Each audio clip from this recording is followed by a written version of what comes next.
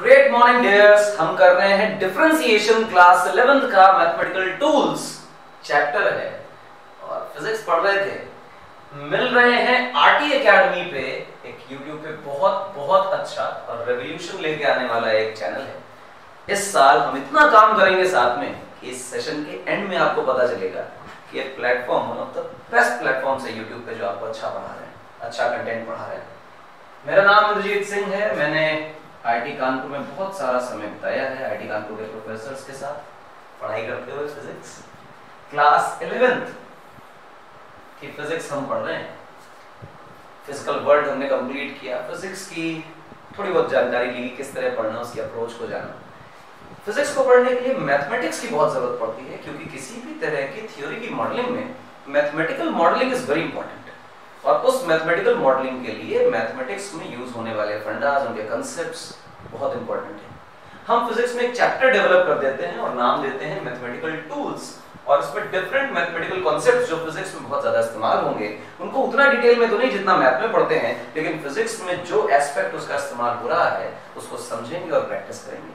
फ़िलहाल हम लोग फ़ंक्शन जान चुके थे इक्वेशन समझ चुके थे ग्राफ्स बना लिए थे स्ट्रेट लाइन ग्राफ स्पेशली हम लोगों ने किया था समय आने पर। पैराबोलिक ग्राफ भी आपको पढ़ाया जाएगा।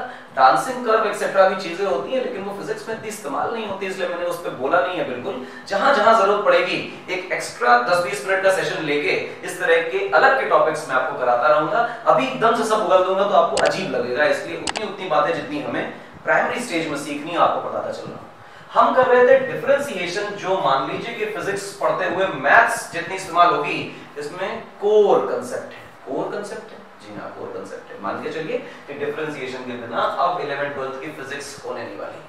तो ये जानना बहुत ज़रूरी है। दो लेक्चर्स हम कर चुके थे डिफरेंशिएशन के याद करो तो बेसिक डिफरेंशिएशन क्या होता है? सीख चुके थे।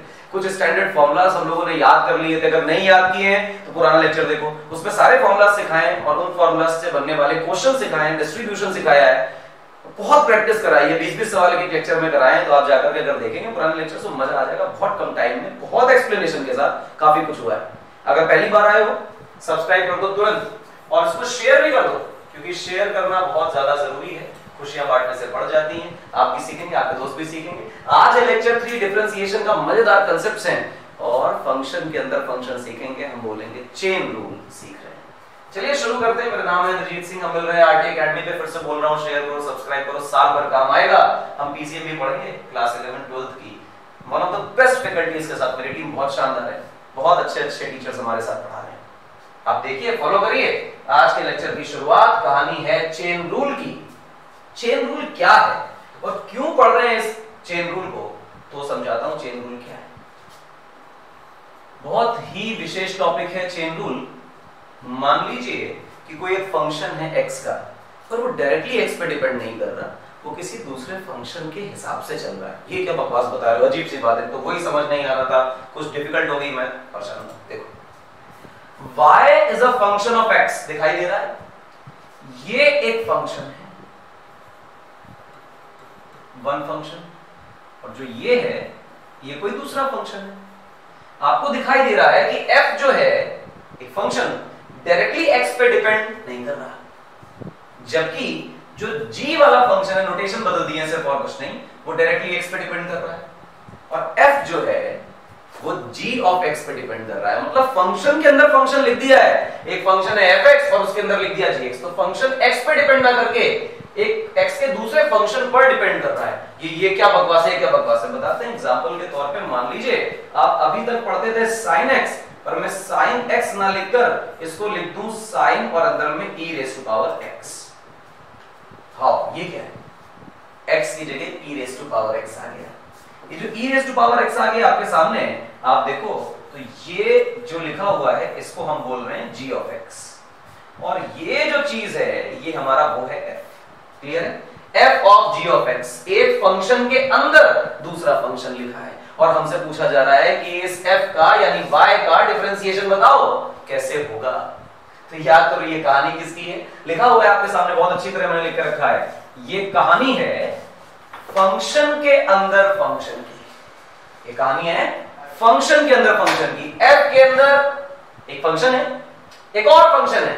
जी, एक फ़ंक्शन के अंदर दूसरा फ़ंक्शन है और टोटल का बताना है डिफरेंशिएशन कैसे करेंगे? काम। आइए सीखते हैं। फ़ंक्शन के अंदर फ़ंक्शन देखो क्या समझाया? F एक फ़ंक्शन है, x का। क्लियर है? जो कि एक दूसरे फ़ंक्शन जिसको हम gx बोल रहे हैं, उस पर डिपेंड करता है। और फिर हम उस f का डिफरेंशिएशन निकालना चाहते हैं। करने का तरीका क्या है? करने का तरीका ये है कि जो अंदर लिखा है फ़ंक्शन उसको मान लें u क्या मान लें? U अच्छा। फिर क्या करें? तुमसे पूछा गया है कि y प्राइम निकाल के दिखाओ व्हाट इज़ y प्राइम जब भी कभी डैश लगा दें तो दिमाग में रखना कि डिफरेंशिएशन करने को बोल रहा है। अच्छा अच्छा मतलब dy by dx बोला? हाँ dy by dx बोला। पर सर, f के अंदर तो x है ही नहीं। f के अंदर तो gx है। तो क्या फ़र्क पड़ता है? gx को क्या माना? u तुमने gx को माना u अच्छा तो एक काम करो, y को, यानी f को, u के रिस्पेक्ट में डिफरेंशिएट कर लो। मतलब इसी को u बनाकर डिफरेंशिएट कर लो, कर लिया। मल्टीप्लाइड बाय जो अंदर वाली कहानी है, ये जो u बनाया आपने, जिसको आप gx बोल रहे हैं, इसको x के रिस्पेक्ट में डिफरेंशिएट कर लीजिए। हाँ कर लिया। और मल्टीप्लाई करा दीजिए। कर दिया। du du कट जाएँगे। हाँ बचा क्या? dy बाय dx अरे, आ गया dy बाय dx हाँ आसान है। फ़ंक्शन के अंदर फ़ंक्शन लिखो तो अंदर वाले को u मान फिर u के रिस्पेक्ट में पूरे फ़ंक्शन को डिफरेंशिएट कर दें। कर दिया। उसके बाद जो अंदर आपने u बनाया था, उसको x के रिस्पेक्ट में डिफरेंशिएट कर दीजिए। कर दिया। अब क्या करना है? ये दोनों जो डिफरेंशिएशन इनका मल्टीप्लाई कर दो मल्टीप्लाई करने से u और u कट जाएगा। तो एंड में आपका आंसर dy बाय dx आएगा। इसको कहते हैं चेन रूल अब इस चेन रूल को मैं एक शॉर्ट ट्रिक से भी पढ़ाऊँगा, लेकिन पहले आपको इस फंडे से, जो लॉजिकल फंडा इससे डिफरेंशिएशन ढेर सारा करके दिखाऊँगा। इसके बाद इसका एक शॉर्ट ट्रिक बताऊँगा। फ़िलहाल, कहानी है चेन रूल की। ये कहानी फ़ंक्शन के अंदर फ़ंक्शन की है।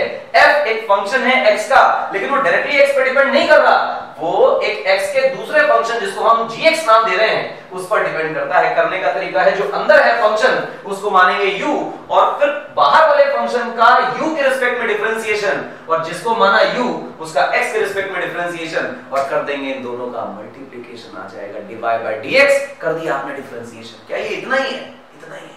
हमें कैसे याद रहेगा इतना थोड़ी समझ आता है। प्रैक्टिस से आता है। हाँ प्रैक्टिस से तो आता है। करते हैं। आओ। कंसोलिडेट द कंसेप्ट ये क्या होता है? मज़बूत करो यार अपने आप को। आओ, देखो। क्या बोल रहा है तुमसे? कह रहा है y is equal to sin 2x sir इसमें तो फ़ंक्शन के अंदर फ़ंक्शन नहीं देख रहा अरे मरमत आपने जो डिफरेंशिएशन पढ़ रखा है ना, वो y is equal to sin x का पढ़ रखा है। और फिर आप कहते थे dy by dx लिखो तो आप कहते थे d by dx of sin x, और इसका होता था हमारे पास आंसर cos x, लेकिन यहाँ x की जगह पे सिंपली x लिखा था, पर आज की तारीख में x की जगह क्या लिखा है? 2x गड़बड़ हो गया 2x लिखा है। फ़ंक्शन बदल गया सिंपल x थोड़ी है। अब कहानी चेंज हो गई, जब चेंज हो गई तो फिर वही अपना u वाला फंडा लगाते हैं, जरा इसको इरेज कर देते हैं। मैंने आपको लिख के दिखाया सिर्फ़ डिफरेंस बताने के लिए। तो क्या करें? जो कुछ भी मेरे फ़ंक्शन के अंदर साइन एक फ़ंक्शन है, ये एफ़ है। और ये जो लिखा है, ये जी ऑफ़ एक्स है। तो जी ऑफ़ एक्स को क्या मान लेते थे? हम लोग कहते थे कि यू लिखा है। तो इसका मतलब y की वैल्यू बन गई तुम्हारी साइन u अब तुम्हारे पास दो बातें बची। एक, dy बाय du फाइंड करना। और एक D du by dx find करना।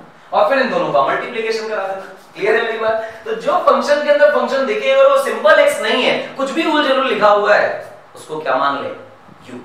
बस। आओ, खेले। डिवाइड बाय डी यू का मतलब हुआ d by D U of sine u. देखो, यहाँ यू है और यहाँ यू है। अरे, ये तो साइन एक्स का डिफरेंशिएशन जैसा हो गया। तो ये बन जाएगा कॉस यू ये बन गया साहब आपका कॉस u. ये कैसे cos u बना अरे जैसे अगर यहाँ x और यहाँ x होता तो बनता sin x यहाँ u और यहाँ u है, कोई दूसरा फ़ंक्शन अंदर ज़िंदा नहीं है तो हम मान लेंगे कि वो बन गया cos x अच्छा cos x की जगह cos u u की जगह आपने क्या मान रखा है? u की जगह आपने मान रखा है 2x अच्छा 2x माना है क्या हाँ माना तो है 2x अच्छा तो हम इसको लिख लेते हैं cos 2x क्योंकि जो 2x था, इसी को तुमने gx माना था और ये gx जो है, वही तो तुम्हारा u है। तो हम कह देते हैं लेट ठीक है ना? और फिर du by dx क्या है? तो हम लिखेंगे d by dx और u की जगह क्या लिखना है? ये वैल्यू जो कि है 2x तो हम लिख देंगे 2x 2 कांस्टेंट है बाहर आ जाएगा, लिखा जाएगा d by dx of x और dx by dx तो 1 होता है। हम लोगों को फॉर्मूला भी याद है तो इसका आंसर आ गया। अब बस दो चीज़ों का डिफरेंशिएशन कराना है, वो मल्टीप्लिकेशन कराना है। वो है dy by du multiplied by du by dx आपको पता है कि ये वैल्यू जो होगी वो dy by dx के बराबर होगी du du निपट लेंगे। और हमारे पास जो आंसर आएगा, वो आएगा। इसका इसका मल्टीप्लिकेशन कर लो 2 ऐसे लिख दिया और फिर लिखा गया cos 2x तो dy by dx का आंसर cos 2x समझ आया कैसे किया? एकदम आसान। ठीक है? अगला एक और करेंगे और कंसोलिडेट हो जाएगा। आओ देखो, cos 2x ये तो साइन का उल्टा कर दिया। सिमिलर है, खुद से करके देखो अच्छा लगेगा। समझ आएगा तो मज़ा आएगी। आओ देखो करके देखते हैं। सबसे पहली बात तो हम लोगों ने लिखा y is equal to f of gx क्या ऐसा ही फ़ंक्शन हम लोग ढूंढ रहे थे? हाँ ढूंढ रहे थे। और हमारे क्वेश्चन में जब तुम y की वैल्यू देखोगे तो लिखा होगा cos और अंदर 2x तो ऐसी फीलिंग आती है कि ये चीज़ f का काम कर रही है, और जो अंदर पूरा लिखा है, ये g of x का काम कर रही है। टंग टंग टंग टंग। इसको देखो। तो ये g of x का काम कर रही है। क्लियर है? तो तुमने कह दिया जो gx है, उसी को तो तुम u मान लेते हो तुम कहते हैं हाँ हाँ gx को u मान लेते हैं। तो u की वैल्यू कितनी लिखी तुमने? 2x अच्छा। तो y का फॉर्मूला क्या बन गया? Y का फॉर्मूला बन गया cos u, क्योंकि तुमने 2x को क्या मान लिया? U अब तुमने क्या निकालना है? तुमने निकालना है dy बाय du, क्योंकि दो ही चीज़ें तो निकालनी होती थी। dy बाय du और दूसरा du dx और यही चीज़ हमारी होती थी dy बाय dx तो कुछ खास थोड़ी करना है। dy बाय du निकालो। तो तुम्हारे सामने है d by du into cos u तुम कहोगे, यहाँ है u और यहाँ भी है u u का डिफरेंशिएशन u के रिस्पेक्ट में। ये तो cos x का डिफरेंशिएशन जैसा है। तो माइनस sin x होता है। तो हम लोग लिख देंगे माइनस sin x नहीं, u, क्योंकि फ़ंक्शन किसमें है? u में। फिर तुम कहोगे कि नहीं नहीं, हमें तो u की वैल्यू सब्सटीट्यूट करनी है। U किसे माना? 2x को तो सब्स्टिट्यूट द वैल्यू 2x क्या निकाल लिया बेटा आपने? dy बाय d अच्छा दूसरी चीज़ क्या बची? वो बची du by dx du by dx तो तुमने लिखा d by dx of u u क्या मान रखा है? 2x मान रखा है। तो चुपचाप से लिखेंगे यहाँ पे 2x आप देखें 2 कांस्टेंट है बाहर आ जाएगा, फिर लिखेंगे dx बाय dx और dx बाय dx तो 1 होता है, क्योंकि हम पहले भी कर चुके हैं इस बात को तो हमारा आंसर आया 2 आपके पास dy बाय dx की वैल्यू की जगह पे आंसर हुआ करता था, dy बाय du आप फाइंड कर चुके हैं multiplied by du by dx, ये भी आप फाइंड कर चुके हैं. डिवाइड बाय du लिखा हुआ है, आपने माइनस साइन 2x और multiplied by du by dx आपने निकाला है 2 तो मेरे पास आंसर आया है माइनस टू साइन 2x ये आपका आंसर आसान है? एकदम आसान है। और क्या देते हैं आप देखो प्रैक्टिस ही है। आज आज कुछ खास नहीं है। प्रैक्टिस ही करनी है। क्योंकि डिफरेंशिएशन मैथमेटिक्स तो प्रैक्टिस बेस्ड आप देखें कि आपका जो दिखा हुआ फ़ंक्शन होता है, वो y is equal to e की पावर x होता है। लेकिन आज की तारीख में ये e की पावर x नहीं है। e की पावर 2x है।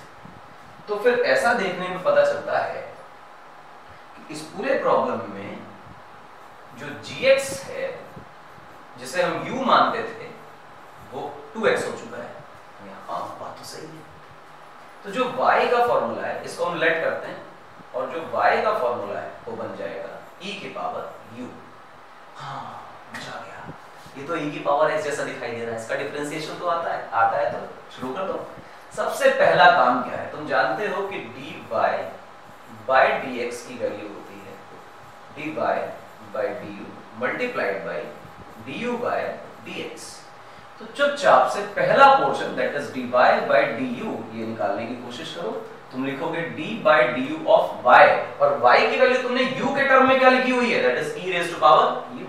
तो तुम लिख दो यहाँ पे e raise to power u. और दुनिया इस बात को जानती है कि जो e की पावर x होती है e की पावर u e की पावर t, जो भी आपने फ़ंक्शन ले रखा है, अगर सेम वेरिएबल के रिस्पेक्ट में डिफरेंशिएट करेंगे तो e की पावर में चेंज नहीं नहीं आता तो क्या लिख दिया जाएगा? इसका डिफरेंशिएशन सिंपली e की पावर u. इसका कारण क्या है? कि आप लोगों को पता है कि d by dx of e की power x is nothing but e raised to x. इसी तरह d by du of e raise to u is nothing but e raise to u इसी तरह d by dt of e raise to t is nothing but e raise to t. ये variable variable same रहेंगे तो फिर कोई change नहीं आएगा। फिर कोई कहेगा, नहीं नहीं, हमें तो u की वैल्यू रख के दो। हमने कहा, u कितना माना था? तुम कहोगे 2x तो हम लिख देंगे e की पावर 2x अच्छा लगा। फिर क्या करें du by dx ये दूसरा वाला टर्म जो है, ये निकाल के देखिए। Du by dx का मतलब d by dx of u u का मतलब हमने मान रखा है 2x तो लिख देंगे 2x फिर दुनिया कहेगी कि 2 बाहर आ गया, d by dx of x, अरे, ये तो 1 होता है तो आंसर आया। मज़ा आया? सी इजी अब जो हमारा dy by dx है, उसका फॉर्मूला होता है dy by du multiplied by du by dx अब dy by du को देखो तो पहला टर्म तुमने निकाल रखा है e की पावर 2x और du by dx तुमने निकाल रखा है 2 तो मेरा आंसर आ रहा है 2 into e raised to 2x and this is your answer समझिए बात। करता जा रहा हूँ, देखते जाओ कंसोलिडेट करो, काम आएगा, बहुत काम आएगा। आओ देखो, अगला। क्या कहना चाहता है? तुमसे जो कह रहा है, वो बहुत खास बात है, सीखोगे तो अच्छा लगेगा। स्क्वायर लगा दिया। अरे तो ब्रैकेट लगा दिया। साइन के अंदर तो एक्स ही लिखा है, लेकिन तो साइन का स्क्वायर हो गया, इसको कैसे सॉल्व करोगे चिंता ना करो। सबसे पहले तो मान लो कि यार, ये ब्रैकेट के अंदर की जो पूरी क्वांटिटी है ना इसी को मान लो कि ये यू है। उसका कारण है कि पूरे के ऊपर स्क्वायर लगा हुआ है। तुम किसे क्या मानोगे? तुम देखो किसे क्या मानते हो। तुम मानो जो gx है ना, वो जिससे तुम u कंसीडर करते थे, उसे सिंपली sin x लिख दो। जब तुम इसे सिंपली sin x लिख दोगे तो तुम्हारे लिए जो y का फ़ंक्शन बनेगा, वो बनेगा u की पावर 2 ऐसा क्यों ऐसा क्यों? अरे sin x का होल स्क्वायर है ना?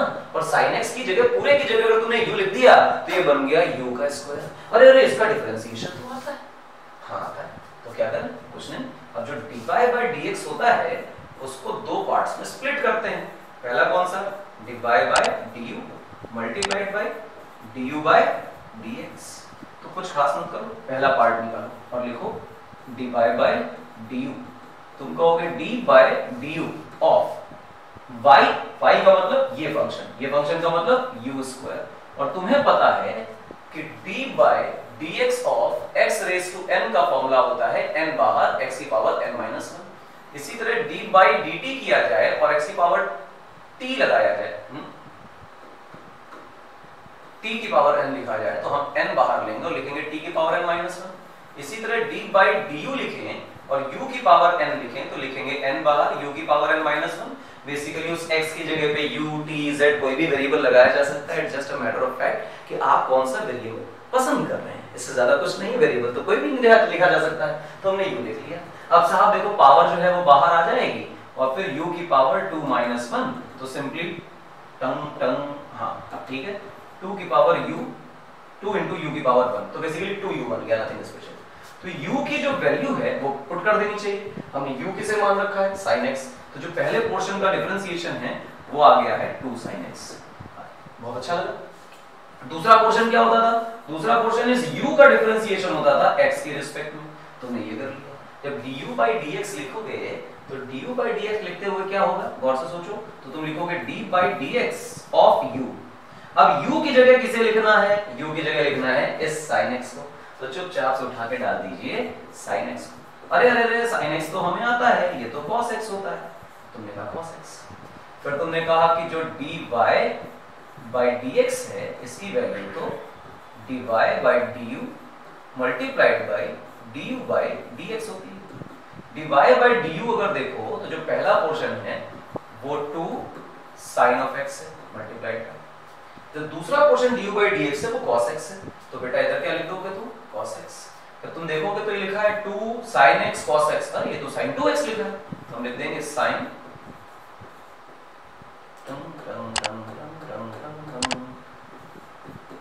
साइन 2x ऐसा क्यों? क्योंकि हमें फॉर्मूला याद है कि साइन 2x का मतलब होता है 2 sin x multiplied by cos x ये फॉर्मूला है, अगर नहीं याद है तो भैया याद कर लो, जीवन में तो काम आता ही है। बहुत ज़्यादा जगह काम आएगा। ये हमारा आंसर हो गया फ़िलहाल आंसर तो ये था। क्लियर आई होप समझ आया होगा आसान है ठीक? आगे देखो, और भी कुछ है हमारे पास? ये एक प्रॉब्लम है। अच्छा ब्रैकेट से तो डील करना आ गया सबको। ब्रैकेट से तो डील करना आ गया। क्लियर है ना? ब्रैकेट के अंदर वाले को कुछ मान लेते हैं। अब सबसे बड़ी परेशानी कि इसका dy by dx निकालना जबकि पूरे के ऊपर ब्रैकेट लगा होगा तो सबको पता है कि जो भी ब्रैकेट के अंदर लिखा है, इसी को क्या मान लें? u मान लें। हाँ। क्या करें लेट योर gx, जिसे आप अंदर वाला फ़ंक्शन कहते थे, जिसे आप u बोल देते थे, वो ax प्लस b है। प्रोवाइडेड है कि a और b positive constants negative values नहीं है। ठीक है? अच्छा। अब जब आपको dy by dx निकालना है तो इसे दो पार्ट्स में स्प्लिट करना है। dy by du multiplied by du by dx तो पहला पोर्शन जो dy by du है, ये निकालने की कोशिश करो। तुम पहला पोर्शन लिखो dy by du तो इसका मतलब क्या होगा? D by d of y और y का क्या मतलब है? y का मतलब तो ये अच्छा तो तुम इसको देखो कि जो y लिखा हुआ है है वो तो तुमने u तो इसे मान लिया, ax प्लस बी को।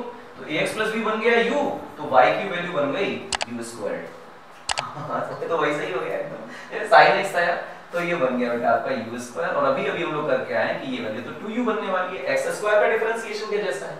और फिर कोई बच्चा कहेगा, हमें u पसंद नहीं है we have to put the values तो u की वैल्यू डाल दीजिए।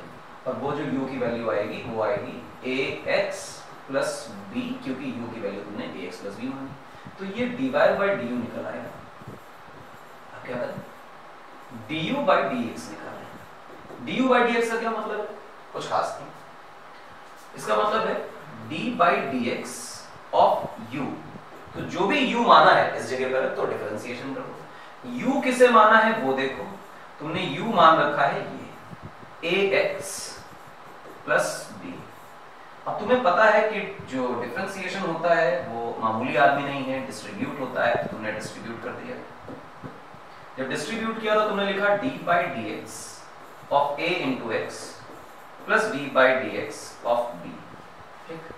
जब इसको देखोगे ना, पहले वाले को तो a कांस्टेंट है, बाहर आ जाएगा और dx by dx बचेगा और प्लस d of d लिखा है। b कांस्टेंट है और जो संख्या कांस्टेंट होती है, उसका डिफरेंशिएशन ज़ीरो होता है।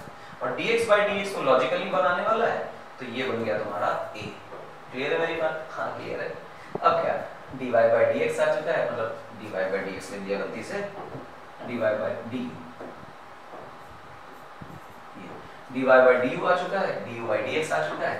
तो मल्टीप्लाई करा लीजिए और लिखिए dy by dx is nothing but dy by du multiplied by du by dx.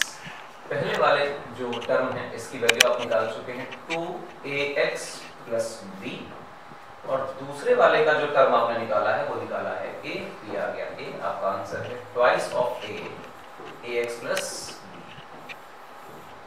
clear है मेरी बात? This is called as chain rule अच्छा। और आगे? और आगे। E की पावर sin x ये क्या बवाल है? कुछ नहीं यार e की पावर 2x किया था। सिमिलर है। कर दो। और लेट जिसे हम gx मानते थे जिसे हम u मानते थे, वो उसको sin x मान लें। तो जो y की वैल्यू होगी, वो e की पावर u होगी। क्लियर है मेरी बात? एकदम आसान? फिर तुम कहते थे कि सर जो dy by dx होता है, उसकी वैल्यू जो होती है, वो तो dy by du multiplied by du by dx होगी। और इसका मतलब ये होगा कि पहला पोर्शन जो इसका है that is dy by du, ये निकाला जाए। इसका मतलब है d by du of y, और y की जगह जब तुम वैल्यू पुट करोगे बेटा तो क्या आएगी? y की जगह ये वैल्यू पुट करनी है। ये जो y का u के टर्म में निकाल रखा है। तो तुम लिखोगे e की पावर u और तुमने कहा नीचे भी u, ऊपर भी u तो किसी प्रकार का कोई चेंज नहीं आएगा। तो तुम लिख दोगे सीधा e की पावर u और कोई कहेगा कि अगर e की पावर u u पसंद नहीं है तो जिस टर्म में तुमने u माना था, x का, वो रख दो। अच्छा u किसे माना था? u तो तुमने sin x को माना था। तो चुपचाप से इसकी वैल्यू आ गई। E की power sin x by dy by du निकाल लिया। दूसरा टर्म क्या था? du by dx du by dx का मतलब d by dx of u तो u की वैल्यू पुट करके देखो तो u की वैल्यू क्या थी? u तुमने माना था sin x को। तो हम यहाँ लिख देते हैं sin x अच्छा यहाँ भी x और यहाँ भी x दुनिया खुश बाद में डिफरेंशिएशन होगा। जी हाँ फॉर्मूला हमें याद है sin x का and that is nothing but cos x तो हमने कहा साफ़ cos x हो गया। अच्छा cos x से दो, दोनों फैक्टर्स तो निकाल ही चुके हो तुम दोनों फैक्टर्स निकाल चुके हो तो फिर तुम्हें क्या लिखना है? लिखना कुछ नहीं है लिखना है dy by dx is nothing but dy by du multiplied by du by dx. पहला वाला टर्म आपने e raise to sin x निकाल रखा है। दूसरा वाला जो टर्म है वो आपने cos x निकाल रखा है तो आंसर आएगा cos x multiplied by e raise to sin x और ये जो है क्या आपका फाइनल आंसर बनने वाला है। क्या आसान है? जी हाँ आसान है। कुछ टफ नहीं, बिल्कुल आसान है। डिफ़िकल्ट बिल्कुल भी नहीं है आराम से आपका हो भी जाएगा। एक क्वेश्चन और बचता है आज का इसके बाद मैं लेक्चर को कंक्लूड करूँगा। इतनी प्रैक्टिस काफ़ी है।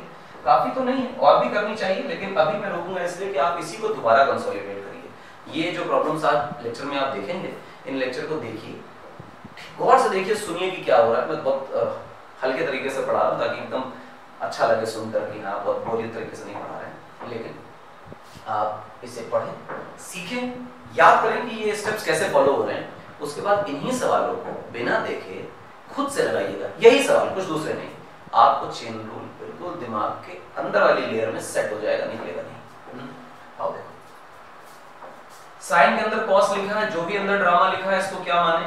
यू तो हम कहते थे लेट जिसे हम जीएक्स बोलते थे। जिसे हम यू बोल देते थे, उसकी जगह पे क्या रखते हैं बेटा? कॉस एक्स दुनिया एकदम खुश हो जाएगी। तो फिर ऐसा करने पे जो y की वैल्यू है, वो बन जाएगी साइन ऑफ़ u क्योंकि अंदर जो कुछ भी लिखा है, उसको तो यू मान लिया है। जी हाँ। अब तुमसे क्या पूछा गया है? तुमसे पूछा गया है dy by dx और dy by dx का मतलब हम लोगों को पता है चेन रूल में कि dy by du into du by dx अच्छा अच्छा बहुत बढ़िया। क्या करें? पहले फ़र्स्ट पोर्शन निकालें, फिर सेकंड पोर्शन निकालें और बस मल्टीप्लाई कर दें। तो फ़र्स्ट पोर्शन की लड़ाई शुरू होती है आपके टीवी स्क्रीन पर। ये रहा dy by du इसका मतलब क्या है? d by du of y और y की वैल्यू क्या निकाल रखी है आपने? आपने y की वैल्यू निकाल रखी है, sin u तो चुपचाप से यहाँ क्या लिखना है बेटे? साइन साइन यू यू यहाँ भी यू यहाँ भी कोई लफड़ा नहीं है, कोई वेरिएबल दूसरा नहीं है। कोई कांस्टेंट भी मल्टीप्लिकेशन में नहीं है तो चुपचाप से इसका बन जाएगा cos u ये बिल्कुल वैसा ही है जैसा आप किया करते थे।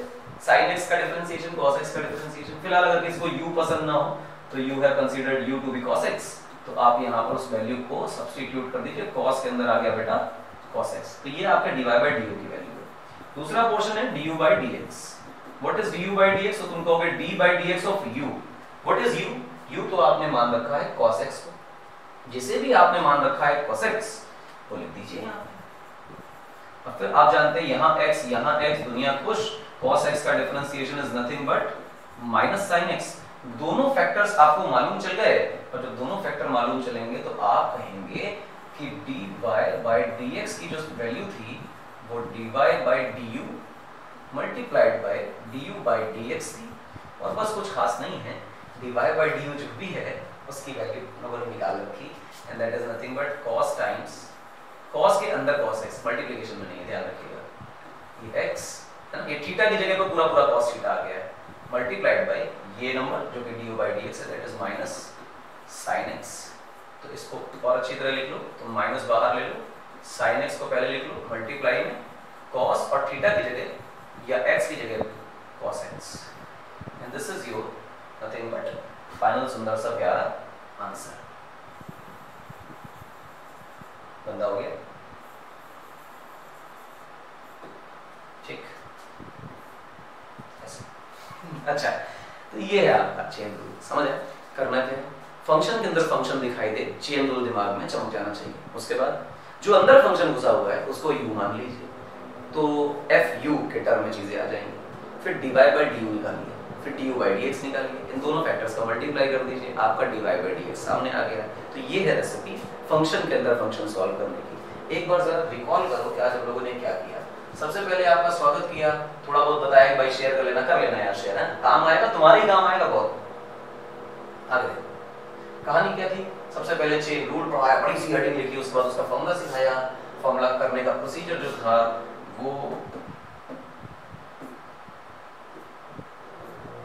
ये जो लिखा वो बताया सामने फॉर्मूला है। उसके बाद याद कराया कि कहानी है फ़ंक्शन के अंदर फ़ंक्शन की तो आपको फ़ंक्शन के अंदर फ़ंक्शन देखना चाहिए। और वो आपको ये देखकर फीलिंग नहीं आएगी कि ये फॉर्म आप पहली बार देख रहे हैं। इसलिए आपको इस तरह का एक एग्जांपल देके समझाया कि इसमें fx क्या और gx क्या उसके बाद हमने कहा कि f जो है उसको डिफाइन कैसे किया? मैं हिंदी में लिख के इसलिए लाया हूँ कि आपको क्लियर रहे कि जैसे बोलचाल की भाषा में सिखाना है, वैसे सिखाना है। इसकी टेक्निकल लैंग्वेज मैथ में सीखना फिजिक्स में जो काम आएगा, वो तुम्हारी मेमोरी काम आएगी। कितना मैथ याद है तुमको? ये f एक फ़ंक्शन है जो बाहर लिखा है, वो x का ही फ़ंक्शन है, लेकिन f x के दूसरे फ़ंक्शन gx पर डिपेंड करता है। ऐसा कुछ दिखाई दे चेन रूल चमकना चाहिए। पहली प्रॉब्लम दूसरी प्रॉब्लम तीसरी प्रॉब्लम चौथी प्रॉब्लम पांचवी, छठवीं, सातवीं, और बस लेक्चर कंक्लूड तो आज का लेक्चर बेटा यही खत्म करते हैं, इससे ज़्यादा पढ़ाने की इच्छा नहीं है आपको कंसोलिडेट भी करना पड़ेगा। थैंक्स फॉर वाचिंग लिखकर ज़रूर लाते हैं, ताकि आपको शुक्रिया किया जाए। हमें देख रहे हैं आप, हमारा मनोबल बढ़ता है, आपके कंसेप्ट डेवलप होते हैं, आपको बहुत फ़ायदा होगा, अगर साल भर हमें देखेंगे। नहीं किया है सब्सक्राइब तो करिए सब्सक्राइब फॉलो करिए आरटी अकेडमी को। सब्सक्राइब भी करिए, और भैया शेयर भी करिए। शेयर क्यों करें? खुशियाँ बांटने से बढ़ जाती हैं। आप सीखेंगे, आपके मित्र भी सीखेंगे, मिलजुल कर आगे बढ़ेंगे। मेरा नाम है इंद्रजीत सिंह आईटी कानपुर के अच्छे अच्छे बहुत बड़े, शानदार प्रोफेसर मतलब क्या ही उनका सम्मान में क्या कहा जाए, बहुत बड़ी हस्ती, ऐसे बहुत सारे प्रोफेसर काफ़ी कुछ सीखा है फिजिक्स पढ़ी है आईटी कानपुर में तो सिखाने आए आपको आईटी अकेडमी पूरे साल ईयर लॉन्ग लेक्चर सीरीज़ चलेगी और आपको सिखाया जाएगा और हम पढ़ रहे होंगे। सबसे प्यारा सब्जेक्ट फिजिक्स मैथ्स केमिस्ट्री और बायोलॉजी ये चारों सब्जेक्ट्स पढ़ेंगे। क्लास 11th के लिए और क्लास 12th के लिए। फ़िलहाल हमारी लेक्चर सीरीज़ ये 11th की चल रही है। इसके पैरेलल 12th की भी चल रही है तो जो भी आपके संबंधी रिश्तेदार, दोस्त सीनियर जूनियर जो भी हो 11th 12th रिकमेंड करिए। आरटी एकेडमी को सब्सक्राइब करिए। नहीं किया है शेयर तो करते रहिए। साल भर पढ़ाएँगे फिजिक्स कंसेप्ट्स को स्ट्रॉन्ग कर देंगे। मज़ा आ जाएगी आपको पढ़ के। मिलेंगे अगले लेक्चर में। मेरा नाम इंद्रजीत सिंह, नाम मत तब तक के लिए